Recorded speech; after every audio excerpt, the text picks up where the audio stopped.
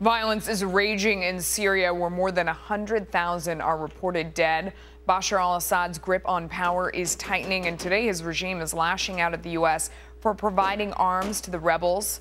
Chairman of the Joint Chiefs, General Martin Dempsey, is responding with five potential options for U.S. military in intervention, but each comes with a multi billion dollar price tag. Let's break it all down with Zuhdi Jasser from the American Islamic Forum for Democracy. Zuhdi, so the first option is basically to train and advise them, and it comes with a price tag of half a billion dollars a year. What do you think of this option? Well, I think it's something we've already started doing and we need to do with a clearer strategy. And I think it's something we have to do because doing nothing has proven, Melissa, to be the costliest thing to the American taxpayer. Doing nothing has empowered Iran and Hezbollah and puts at risk those chemical weapons to be put into the hands of Hezbollah and risk then necessitating, as he puts in his fifth option, the need for thousands of American troops in Syria to protect those. So I think we need to train the opposition, empower them. And then he goes into some others, which I would look more than options as simply stages of more uh, yeah. uh, engagement from the Americans. I mean, let's walk through that for our audience. That the next level up would be option two. And it talks about conducting limited standoff strikes, the use of lethal force to strike targets that enable the regime to force hundreds of aircraft, ships, and submarines and other enablers. Um, the impact of this could be significant degradation of the regime's capabilities. Do you think? And this comes with a price tag of billions. What do you think about this option?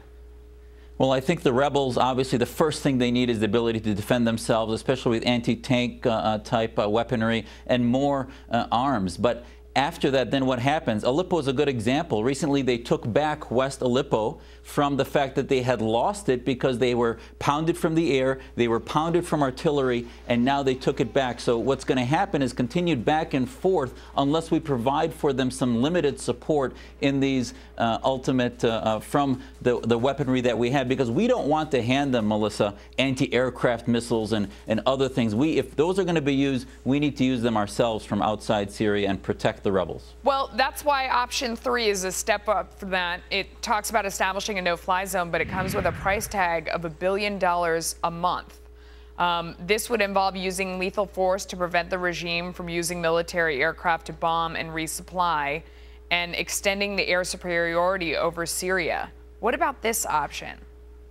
Well, well, there's no doubt that that option is uh, um, very important to have because you need, at some point, we may need to protect the rebels from the air, from the from the bombing and bombardment that they're doing with helicopter gunships, with uh, aircraft, etc. But there are those that say that it won't be that helpful because most of the the civil war that's happening is on the ground. But again, if we're going to hmm. protect the movement of chemical depots and others, it may end up needing some air action, just as we did in Bosnia, etc. And remember, the longer this goes on, the more radicalized millions of Syrians are becoming. Europe, the EU recently just said that Syria has become the largest source of global terrorism from Europeans going to Syria and also Syrians coming to Europe. So this is something the no-fly zone, while it's a billion dollars a month, as yeah. General Dempsey says, is going to possibly short circuit the civil war to bring it to an end quicker and end the humanitarian costs that are also costing the taxpayers a lot of money. Would it be better, though, you know, for about the same price of a billion dollars a month to establish buffer zones? That's the fourth option.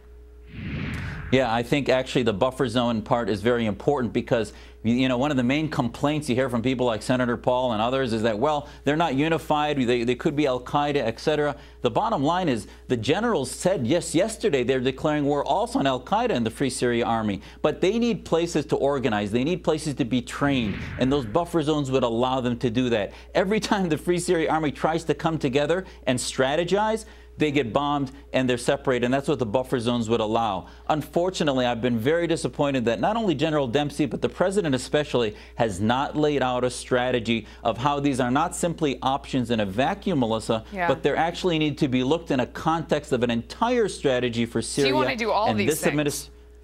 Exactly. One, one would lead to the other, because if we don't, That fifth most expensive one of protecting the chemical weapons will have to be done when Hezbollah gets its hands on it. So the cheaper thing to do is to have a bigger strategy and to lay out for the American people what happens and the cost of doing nothing versus the cost of having a global strategy in Syria regionally to protect Israel, Real to protect the good people on the ground. Yeah, I, I, mean, when we look at all of these, they come with a huge price tag. What do you think is the cost of doing nothing?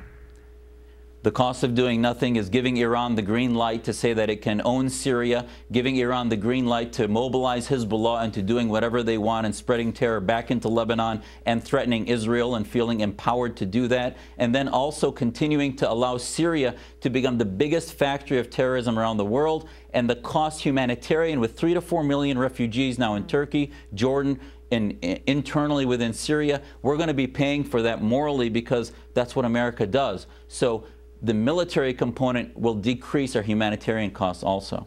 Wow, tough choices. Zuhdi, thank you so much. Anytime, Melissa. Thank you.